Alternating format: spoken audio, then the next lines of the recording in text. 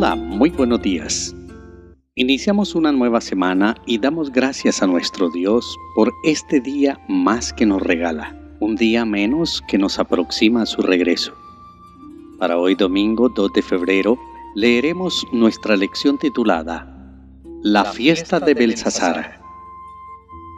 Repitamos, Él muda los tiempos y las edades, quita reyes y pone reyes da la sabiduría a los sabios y la ciencia a los entendidos. Daniel capítulo 2, versículo 21. Lee Daniel capítulo 5, versículos 1 al 4, junto con Daniel capítulo 1, versículos 1 y 2. ¿Qué tiene de malo lo que hace Belsasar? ¿Esto que hace, cómo revela su verdadero carácter? Compara sus actos con Apocalipsis capítulo 17 versículos 4 al 6. ¿Qué paralelismos puedes encontrar?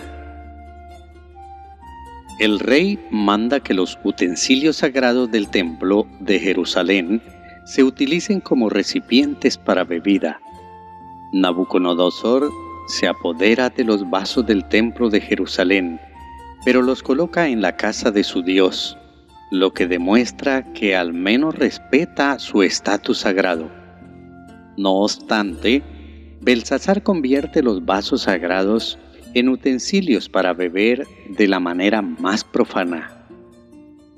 Mientras bebían de los vasos sagrados, los dignatarios de Belsasar alabaron a los dioses de oro y de plata, de bronce, de hierro, de madera y de piedra Daniel capítulo 5 versículo 4.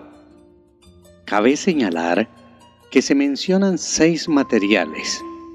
Los babilonios usaban el sistema sexagesimal, un sistema basado en el número 60, en contraste con el sistema decimal que utilizaban en la actualidad, basado en el número 10.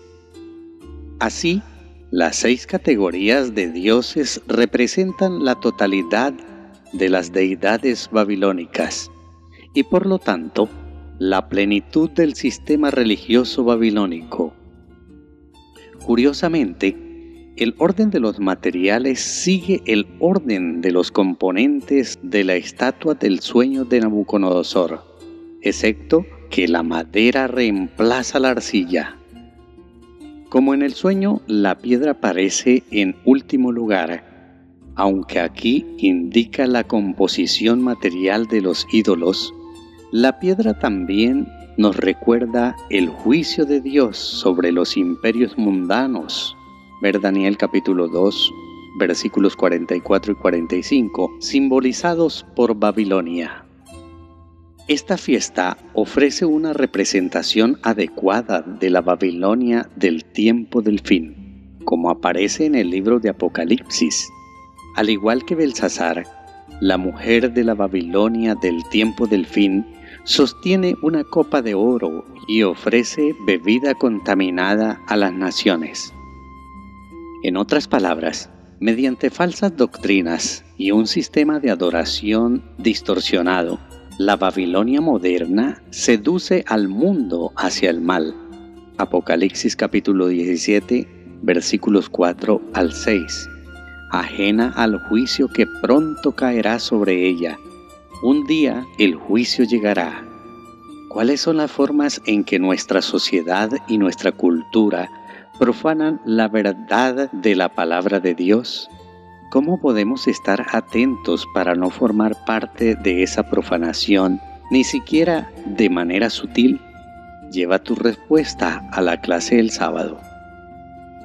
Que al iniciar esta semana, el poder de Dios te acompañe y supla todas tus necesidades. Te espero el día de mañana. Soy Adalberto Ivica Rincón, llevando al mundo el mensaje de salvación.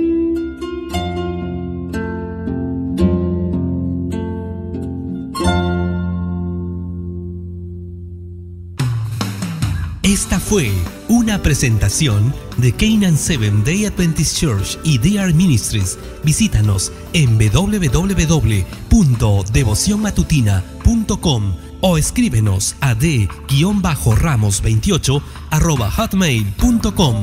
Te esperamos.